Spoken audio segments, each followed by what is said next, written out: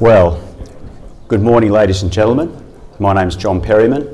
I'm the Director of Strategic and Historical Studies at the Sea Power Centre Australia, and it gives me enormous pleasure to welcome you here today for our King Hall History Conference 2019. Maritime Warfare in the Indo-Pacific, Lessons for the 21st Century. There's just a little bit of housekeeping before we start. Um, as I'm sure you'll appreciate, an event like this we're actually situated in the Parkside Ballroom.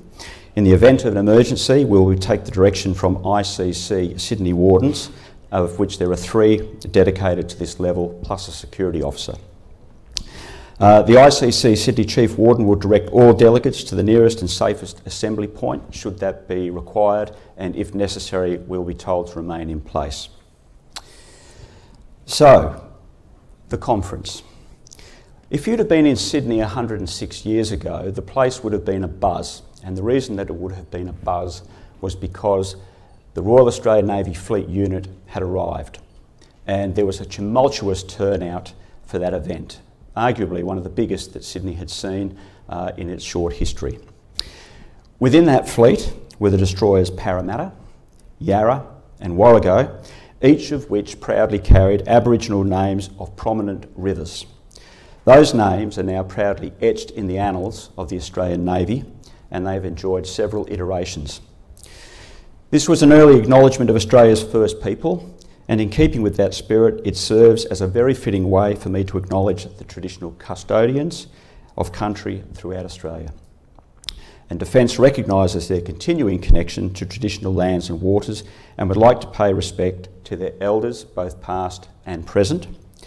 Defence would also like to pay respect to the Aboriginal and Torres Strait Islander men and women who have contributed to the defence of Australia in times of peace and war.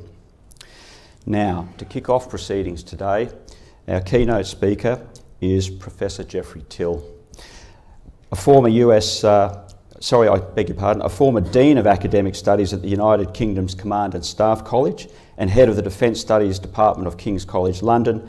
Geoffrey is now the Emeritus Professor of Maritime Studies of King's College London and Chairman of the Corbett Centre for Maritime Policy. Professor Till is currently at the United States Navy War College and please join me in welcoming him to the podium.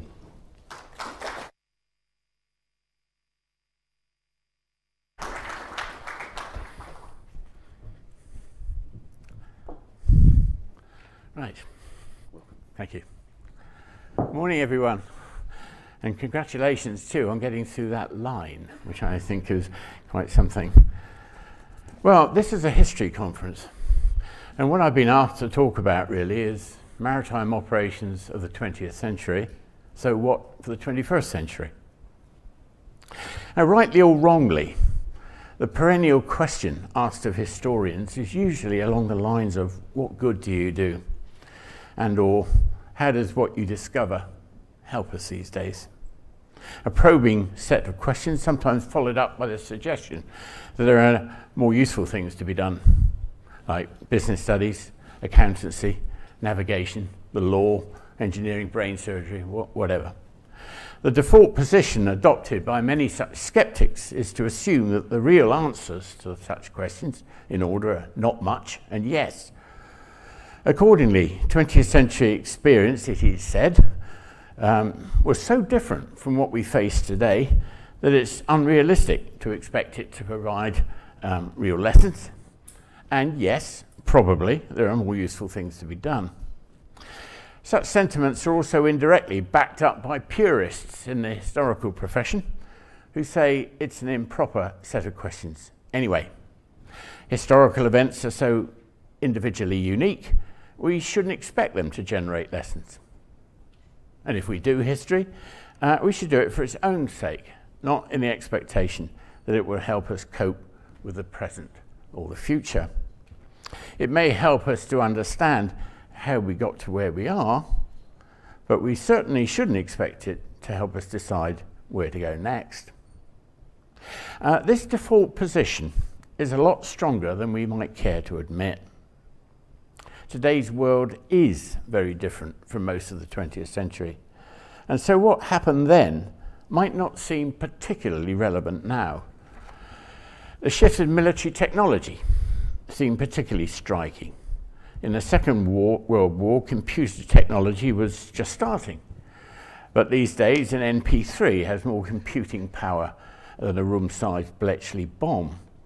And now we're only just scoping the impact of big data, artificial intelligence, and so on and so forth. And this will increase the gap still further. I don't need to labour, this is an obvious point. Equally obvious is the drastic shift in the nature of the general world situation, which is much more interconnected and globalised, in good ways and bad ways, uh, than it was then. Even if we are returning to a world of great power conflict, it won't be the same. The international scene is no longer just an arena in which nations joust in an unending struggle for influence, power, and resources, for who gets what, when, and how. Now, organised transnational crime in its many forms have joined in, as have any number of terrorist groups big multinational corporations, blind and impersonal forces like climate change, and even active citizens empowered by pervasive social media, now all potentially transformative actors in the international scene. Wars too have changed. Now they're much more wars of choice rather than of existential necessity. Accordingly, they're limited in comparison with what they could be technologically, and conditional on uncertain and often wavering public support. Furthermore, the current focus on the so-called grey zone operations associated with Russia's General Gerasimov obscures the difference between peace and war. Many now expect conflicts to be conducted in the uneasy shadowlands between peace and war, where conventional kinetic operations between the military forces of recognized states are but a part, and not necessarily the major part, of the attempt to secure objectives. I'm not saying that these ideas are particularly new, nor for that matter, particularly Russian. Nor am I saying that modern conflicts will bear no resemblance to what went before. But I do think we have to agree they're likely to be substantially different and substantially more complex. Added together, all these forces have changed in the international environment, make for a world so different from that of the world of just a couple of generations ago as to raise very serious doubts about the apparent relevance of previous experience of maritime operations to those of today and still less of tomorrow. In particular, it all seems to suggest that formal battle fleet engagements will be much less prominent in the current century than they were in the last, and hence the value of studying them rather less of an operational imperative. So that's the case against. And yet, all the same, I think we can still draw out some abiding truths at least. So let's start at the very highest level with considerations of power and presence and the manner in which it is held, handled at sea. Vegetius, si vis pacem para bellum, after all. If you want peace, prepare for war. Two responses seem possible. The first is simply to extend on what the great man said by making the point that it is the very existence of potentially countervailing incredible battle fleets that makes their contention less likely, simply as a consequence of the likely costs. Normal business, then, may continue from one century to the next. Building on this, a second response underlines the importance of getting such strategies of deterrence right. The 20th century offers much experience that it's both relevant and useful. The division of Europe into two armed camps in 1914 precipitated war rather than peace because the military systems that resulted, if mainly on land, developed imperatives of their own. And the statesmen concerned on all sides lost control of their instruments of policy. policy became dominated by the means rather than by the ends. There were many who worried that in the Cold War, technological error or operational accident could have the same effect. And this nearly came to pass in 1962, were it not for that truly heroic captain of a Soviet submarine who decided he would not fire a nuclear torpedo at the US warships that were harassing him off Cuba. Maybe another close call came in the early 1980s when a panicky Soviet general staff seriously wondered whether NATO's Able Archer exercise was the real thing and that the West was about to make a preemptive strike. In both cases, fortunately, calmer counsels and effective control mechanisms prevailed.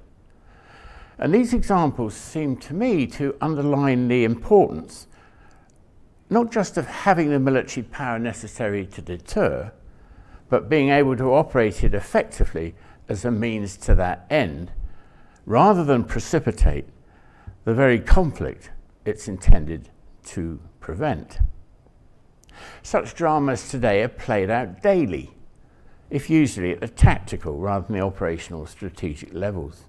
They are, for example, in the Gulf, when the commander of a warship is menaced by a swarm of combatants operated by the Iranian Revolutionary Guard Navy, or by the antics of an opposing fishing boat, warship, or aircraft in the South China Sea or the Baltic, all of which call for a difficult mixture of resolve and restraint. Resolve to deter, restraint to avoid dangerous provocations. And it is a balance between these two, because the 20th century provides several glaring examples of the results of getting things wrong the other way round. Both Germany and Japan in 1939 and 1941, and perhaps Argentina's General Galtieri in 1982, took the absence of credible and countervailing force in the key operational theatre as evidence of an absence of an adversary with either the will or the capability to deter, thereby precipitating disastrous conflicts through impetuous action. Assessing the level of force and the way it should be used that deters effectively while stopping short of provoking a possible adversary was and remains a key skill of the diplomat and the maritime commander. When training up captains of warships about to go into the Gulf or the South China Sea, it's hard to believe that the tactical experience of their predecessors in similar situations is without value. At a higher level, the same can surely be said for their superior commanders and political leaders in deciding how much is enough for deterrence and how much is too much. The 20th century offers a quarry of data that should help us to understand the problem and encourage more informed reflection on what to do about it. Then, as now, moreover, effective deterrence was never a matter simply of having and effectively employing military forces. Statesmen employed diplomatic and economic pressure It engaged in what we would now call lawfare as they did over the imposition of blockade, especially in the First World War, and even the conduct of particular battles, such as the Battle of the River Plate in 1939 or Norway in 1940. They also applied the black arts of subversion and propaganda. They realized too the criticality of industrial support in that the economy really was the fourth arm of defence, as the UK Treasury justifiably argued in the 1930s. Around the time of the Battle of Guadalcanal, thoughtful Japanese realized with justice uh, that when American industrial might was capable of building warships faster than they could sink them, then the war was lost. That battle, really, campaign, can be seen in modern terminology as completely multi domain in the way that land, sea, and air effects were tightly and consciously uh, interwoven. The trick then was to be able to integrate all these lines of development into a synergistic whole, to break down the silos so that military forces and what they either threatened to do or actually did do becomes just one part of the process, albeit often a critical one, especially in war. Sometimes, though, the risks and the costs of war meant it was better to keep those forces back in reserve and mainly to employ other means of securing objectives. There really is nothing new about the so-called Gerasimov doctrine. This comprehensive approach requires what a former Chief of Navy recently called a national enterprise, which encourages a truly whole of society approach to the business of deterring wars and fighting them when necessary. This approach, likewise, would seem to implicitly recognise the salience of previous experience in attempting to do the same through the 20th century. However, this is all very well when dealing with existential threats by conventional forces, when the ordinary citizen can see what's at stake and so accepts the sacrifices in blood and treasure that may have to be made. But this all becomes much more difficult in situations where interests are at stake rather than survival, and where faceless adversaries like these uh, Chinese fishermen, uh, in quotes, um, operate covertly. In such circumstances, deterrence simply becomes much more complicated.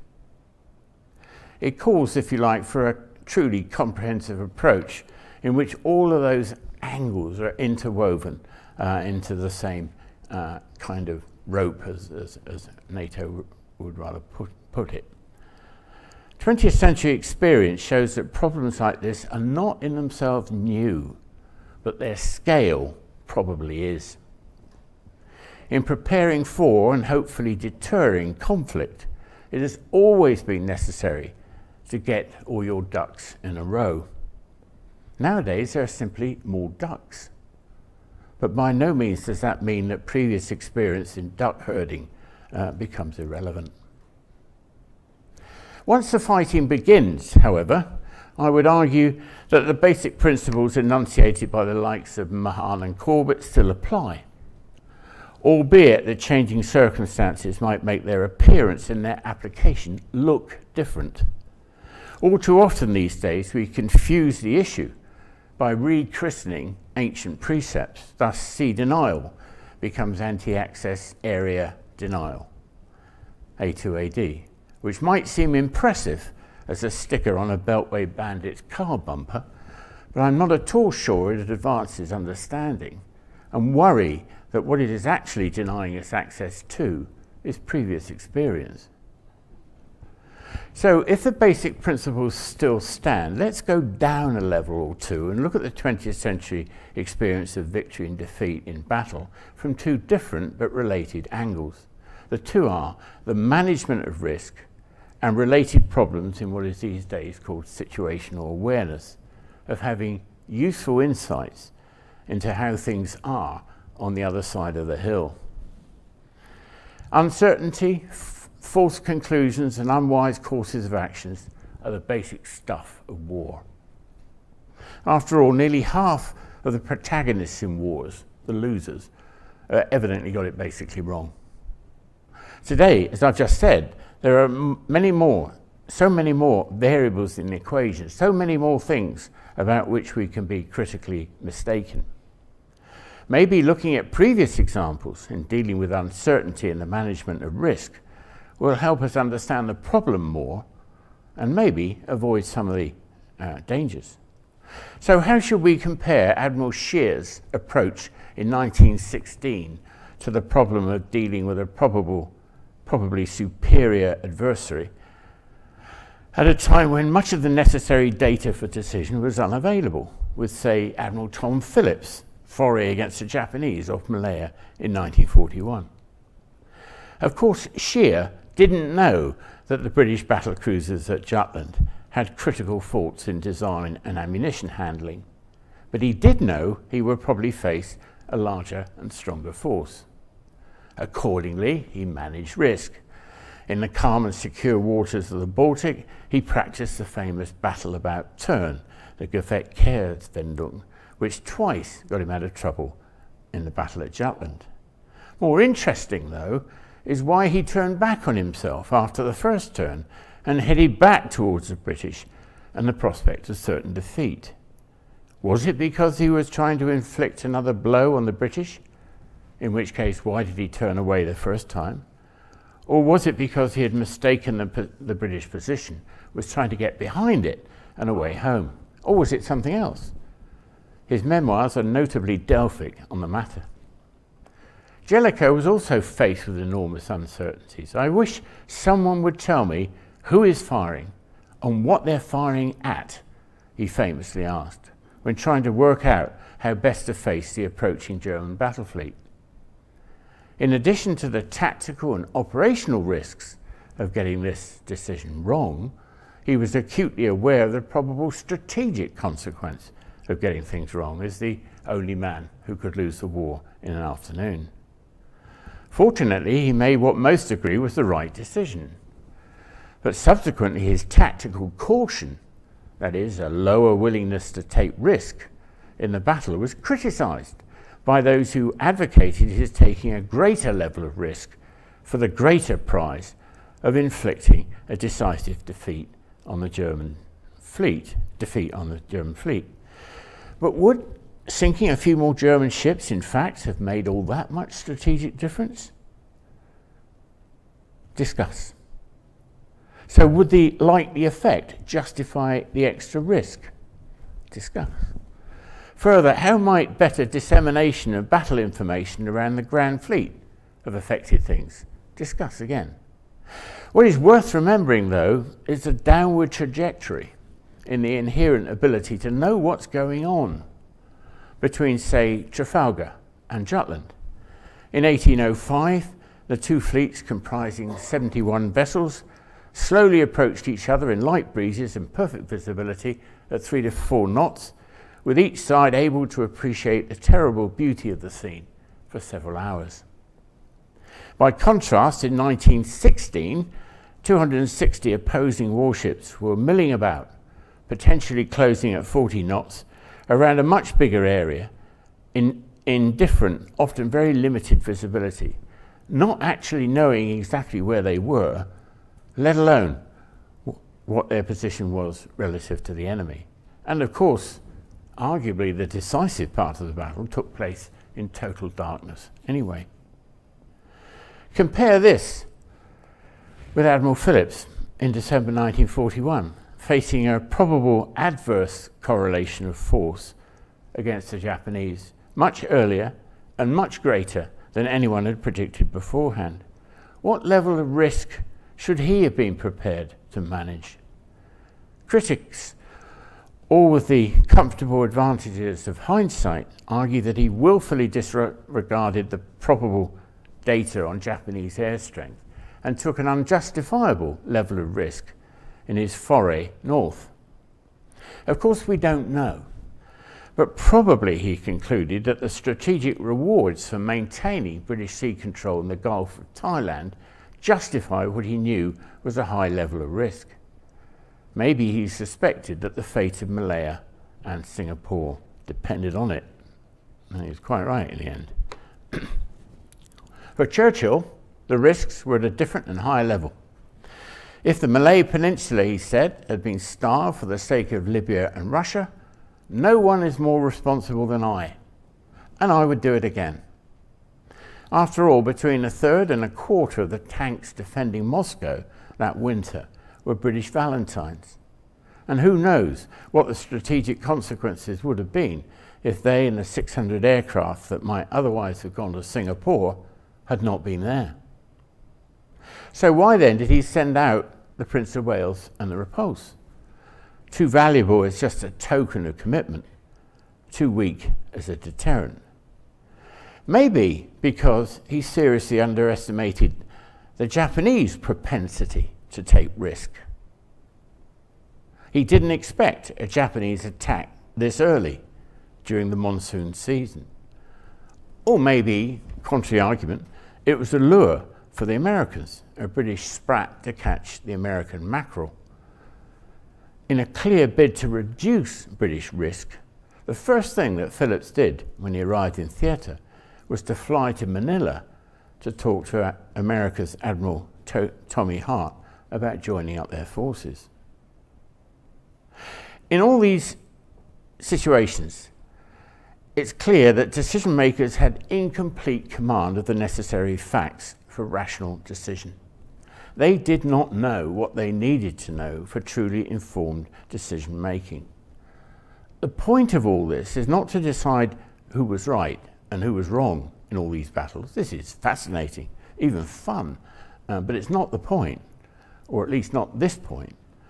Nor is it to evolve a set of rules about how risk should be assessed and responded to, because although that sounds a very good idea if you can actually do it, instead it's more an attempt simply to understand the problem, really to qualify clarify what the fog of war actually means, and perhaps to reinforce some commonplace points, such as the importance of gathering as much battle information as you can and disseminating it to those who need it when they need it.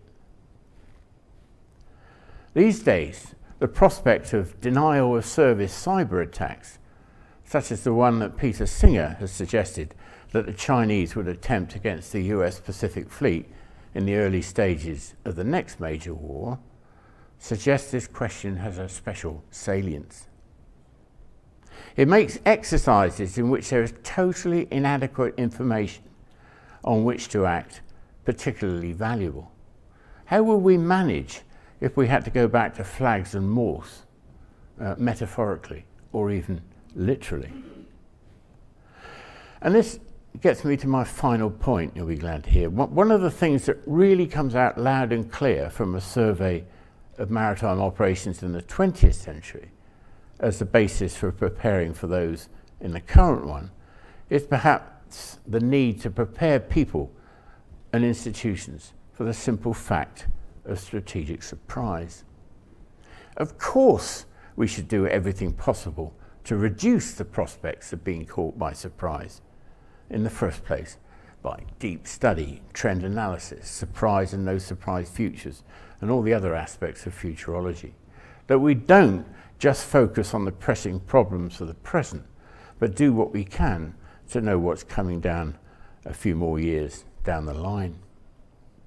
But at least as important must be the conscious effort to build as much institutional flexibility in organizations and intellectual agility in people, partly through expansive, imaginative, and challenging professional military education as we can, in order to be able better to cope with the probability, perhaps the near certainty, of being caught completely by surprise when the time comes.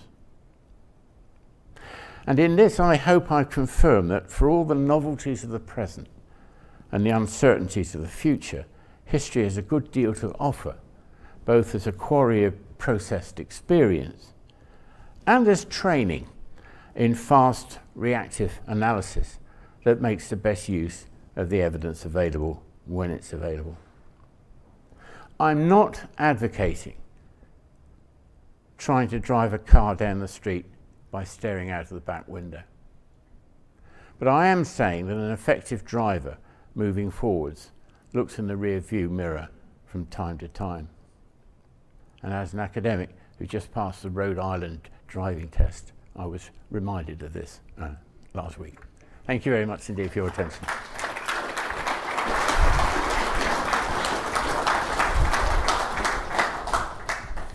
Thank you, Please have a seat. Well, thank you very much indeed, Geoffrey. That was a, a most illuminating uh, uh, presentation, and I can't believe how much you uh, actually covered in such a short period of time. We've now got time for our, our questions and answer session, uh, and as advised, uh, these are being submitted through the applications and through Twitter.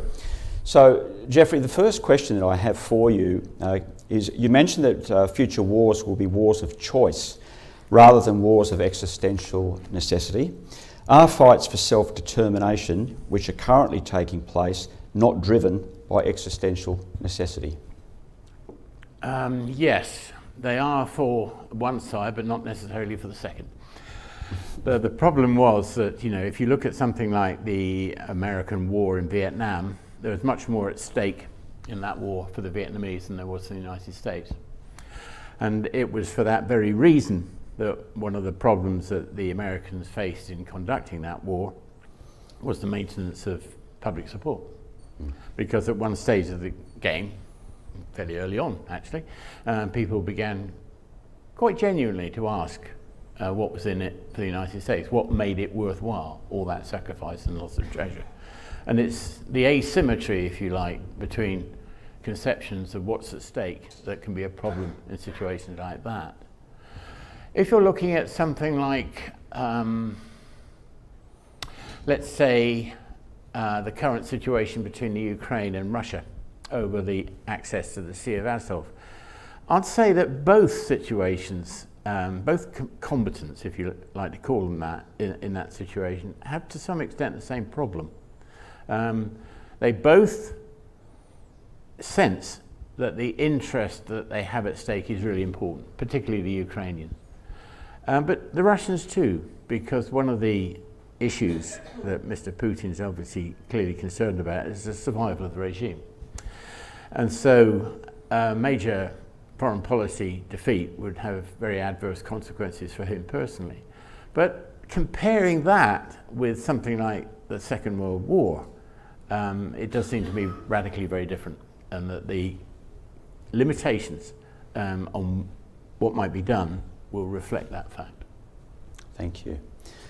Uh, the next question uh, Could you please reflect on the role that luck has in warfare?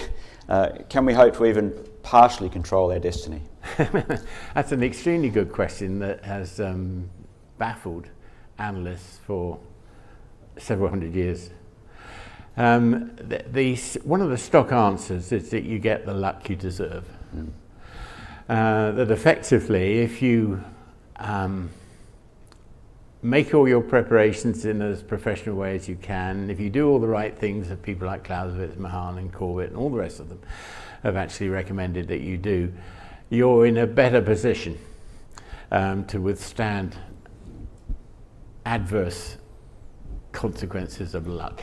So you can make your own luck? Up to a, up to a point. But there is no doubt that, that luck does play a part. I, I always think in, in this sort of circumstance of, of Admiral Phillips. Um, after all, he did survive the first big uh, survey, um, surveillance mission that the um, Japanese Navy did, and the second, and it was only when one plane happened to turn back and have another check that, that he was actually detected or Kuantan. Bad luck, mm. or a question of very high levels of training and commitment by the Japanese. Well, the argument's wide open. Okay. The next question, uh, which we've received on our feed, is uh, what is the role of the Navy with respect to diplomacy in a modern war of choice? I think it's not, not any different from it's always been. That effectively, naval manoeuvres, uh, naval conflict, in the course when after the firing has started are all intended to transmit messages. They're transmitting messages, the same messages I was talking about in, in, in, in my talk of resolve and maybe in peacetime at any rate, restraint. Mm. And that effectively uh, we should regard battles effectively as militant diplomacy. And I think one of the West's problems is this tendency to bifurcate the two, peace and war, much too strongly, and to assume that somehow or other, once the fighting starts, then we leave it to the generals to get on with the professional business of fighting the war. It's not that simple, because what they do has significant political consequence. And it might well be that they're deeply irritated by the fact that their plans and preparations have to conform to what their political masters say is the broad political objective. But they should recall that that's what they're seeking to be instruments for anyway. Well, ladies and gentlemen, that brings us to the end of this first session. uh, I'd like you to join me in thanking Professor Till for his uh, opening keynote address, and we'll now go to a short break.